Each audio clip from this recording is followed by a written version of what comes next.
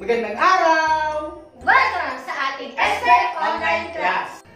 Dahil nasa pandemic pa rin tayo dahil sa COVID-19, mayroon kaming mahahalagang paalala para hindi ka mahawa. Ugaliin laging maghugas ng kamay, Suot ng face mask, Magpalakas ng resistensya, uminom ng vitamin C at kumain ng gulay. Social distancing, at mag-ehersisyo. Dito sa ating SDEC online class ay may ilan tayong mahalagang alituntunin. Una, makinig kang mabuti. Ituon mo ang iyong puso at isip sa gagawin nating pag-aaral. Pangalawa, maging komportable at umupo ng maayos. Sikapin nasa iisang lugar ka na walang makakaistorbo sa iyo. At pangatlo, ihanda ang notebook, lapis o kaya ballpen upang isulat ang mahalagang matututunan mo. Ano nga ulit ang mga alituntunin natin? Tama! Bago tayo magpatuloy, tayo muna ay manalangin. Uloy yuko, mata ay ipikit. Panginoon, maraming salamat po sa oras na ito na binigay niyo po sa amin na kahit na ganito po ang aming sitwasyon, ay makakapag-aral po kami na inyong salita. Tulungan niyo po kami na maunawaan ito sa pangalan ni Jesus. Amen.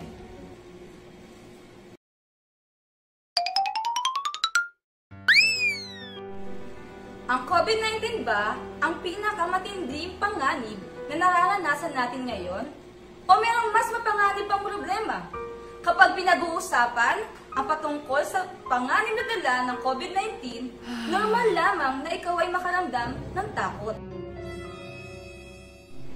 Naging mas mahirap ang lahat. Hindi ka na bahaling lumabas ng basta-basta, lalo pa kung 18 years old pababa ka. Hindi ka na maaaring pumunta sa bahay ng iyong kaibigan o kaklase.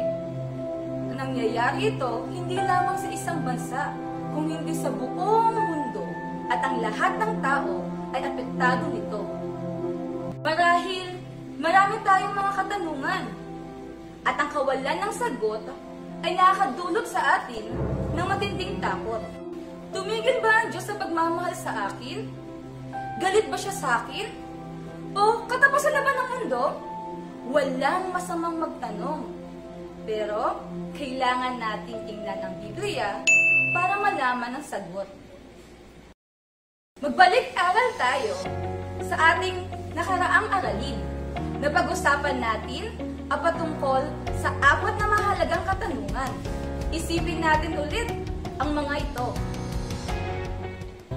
Ang unang tanong ay, Nakikilala at pinagmamalasakita ka ba ng Diyos? Anong sagot dito? Tama! Nakikilala ka ng Diyos dahil siya ang lumikha sa iyo. At minamahal ka niya. Alam niya ang patungkol sa iyo. Nagmamalasakit siya sa iyo, concern ng Diyos sa iyo. At hindi hindi ka niya kailanman ipapahamak. Pangalawang tanong ay, bakit nangyayari ang napakaraming masasamang bagay sa mundo? Anong sagot dito? Tama! Ang mga nangyayaring pangit o hindi maganda sa ating mundo ay bunga ng kasalanan. Ikatlong tanong ay, bakit hinayaan ng Diyos na mangyari ang mga ito? Anong sagot dito? Tama! Tandaan, ang masasamang nangyayari ay bunga ng kasalanan. Sa katunayan, kaya ng Diyos na pigilin ang mga ito. Ngunit, ayaw niyang paghimasukan ang kalayaan ng tao na pumili kung susunod ba sila o susuway sa Diyos. Gayunpaman, kontrolado ng Diyos ang mga nangyayari sa atin at maaari niya itong gamitin sa ikabubuti natin. Halimbawa ngayon, ang mga tao ay nagiging mapagbigay at ang mga pamilya ay nagkakasama-sama. At dahil dito, nakikita natin ang halaga ng bawat isa.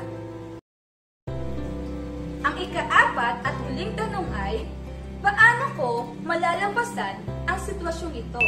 Tama! Kung sumumpalataya ka na kay Jesus, ikaw ay anak na ng Diyos. At bilang anak ng dakilang Diyos, nangako siyang hindi ka niya iiwan. Ikaw ay kanyang sasamahan sa lahat ng pinagdadaanan mo ngayon.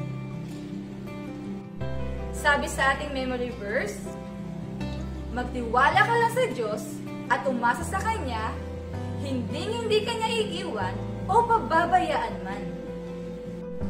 Kahit na nasa ganito tayong sitwasyon, hindi tumigil ang Diyos sa pagmamahal sa atin.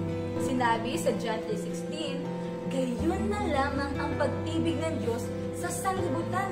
Ibig sabihin, sa lahat ng taong nasa mundo. Saan ka man nakatira, ano man ang wika mo, ano man ang kulay ng balat mo, mahal niya tayo dahil ang Diyos ang lumikha sa atin.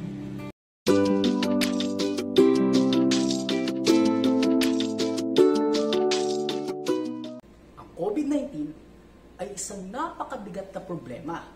Dahil dito, kailangan nating manatili sa ating mga tirahan. At maraming mga nagsarang negosyo, maraming nawalan ng hanap buhay, marami din ang nagugutom, marami din ang nagkasakit, at namatay. Subalit, may isang problema na mas higit pa kaysa COVID-19 at ito ay ang kasalanan.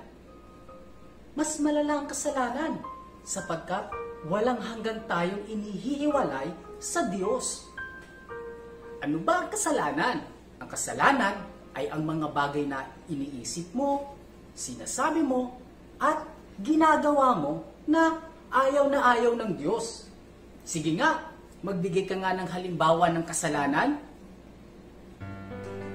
kapag sinasagot mo ang iyong mga magulang. Kapag ikaw ay nakikipagtalo sa iyong mga kapatid. Akin to! Kapag ikaw ay ka. nagsisinungaling, nangungupit, ito ay isang kasalanan. Ipinanganak tayo makasalanan, kaya't hindi natin maaaring makasama ang Diyos sa langit sapagkat siya ay banal. Hindi siya nag-iisip, nagsasalita, gumagawa ng anumang mali. Ngunit, ikaw at ako ay nagkasala.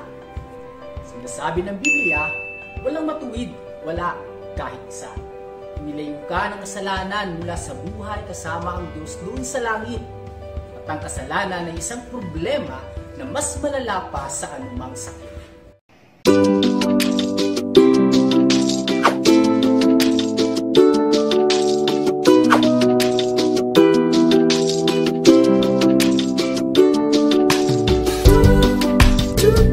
Kung iniisip mo na wala nang kaysa COVID-19, nagkakamali ka.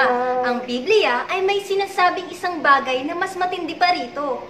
Ito ay makikita natin sa ika-anim na aklat sa bagong tipan ng Biblia, ang salita ng Diyos. Ang aklat na ito ay tinatawag na Roma at ganito ang sinasabi sa ika-anim na kabanata talatang 23. Ang kabayaran ng kasalanan ay kamatayan, subalit ang regalo ng Diyos ay buhay na walang hanggan sa pamamagitan ni Kristo Jesus na ating Panginoon. Sinabi ko na mas malubha ang kasalanan kaysa COVID-19 dahil ito ay nagbubunga ng kamatayan.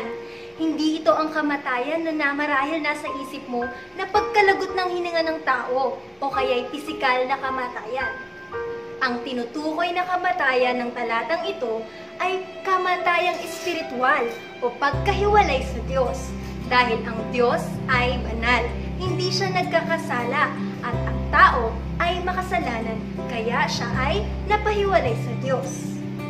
Subalit mahal ka ng Diyos, kaya gumawa siya ng paraan upang hindi ka tuluyang mawalay sa Kanya. Ano ang sabi sa talata? Ang regalo ng Diyos ay buhay na walang hanggan sa pamamagitan ni Kristo Jesus. Ibig sabihin, kung ang kabayaran ng kasalanan ay kamatayan, ang regalo ng Diyos ay buhay na walang hanggan sa pamamagitan ni Kristo Jesus. Ibig sabihin, makakasama mo ang Diyos palagi. Paano mo ito makakamtan? Sa pamamagitan ni Kristo Jesus. Sino ba si Jesus? Siya ang kaisa-isang anak ng Diyos na namatay para bayaran ang iyong kasalanan. Ang sabi sa talatang ating binasa, ang kabayaran ng kasalanan ay kamatayan. Kaya si Jesus ay namatay para sa iyo at ang kanyang kamatayan ay sapat na para mabayaran ang lahat ng iyong kasalanan. Ang buhay na walang hanggan ay walang bayad. Ito ay matatanggap mo kung sasampalataya ka kay Jesus na siyang tanging makapagliligtas sa iyo. Kung nais mong sumampalataya kay Jesus, maaari mong kausapin ang Diyos ngayon. Sabihin mo sa Kanya na inaamin at pinagsisisihan mo ang iyong mga kasalanan at naniniwala kang si Jesus ay namatay upang bayaran ang parusa sa iyong pagsuway sa Kanya. Gusto mo bang kausapin ang Diyos ngayon? Maari kang sandaling pumikit at manalangin.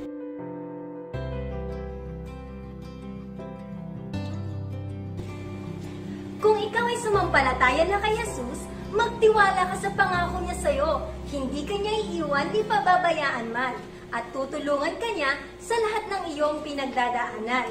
At kung ang Diyos na ang iyong Ama, siguradong papakinggan ka niya at gagabayan ka sa lahat ng iyong mga gagawin.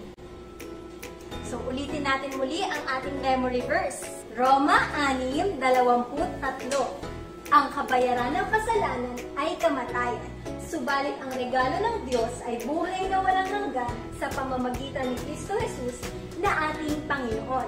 Roma 6:23. Basahin nga natin ang ganito. Roma 6:23. Ang kabayaran ng kasalanan ay kamatayan. Subalit ang regalo ng Diyos ay buhay na walang hanggan sa pamamagitan ni Kristo Jesus na ating Panginoon. Roma 6:23.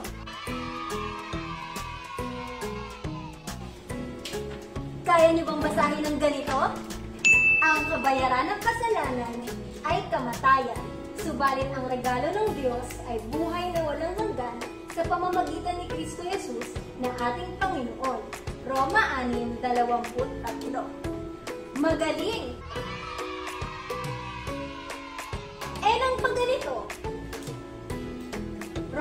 23. Ang kabayaran ng kasalanan ay kamatayan.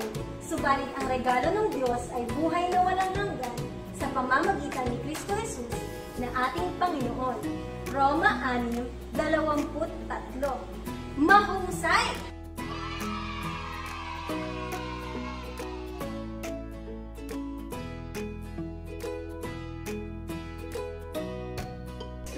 Gusto naming malaman kung may natutunan ka. Sa ibaba ay mayroong link na pwede mong puntahan para sagutan ang ilang mga katanungan. Kaya i-click niyo na ang link na ito.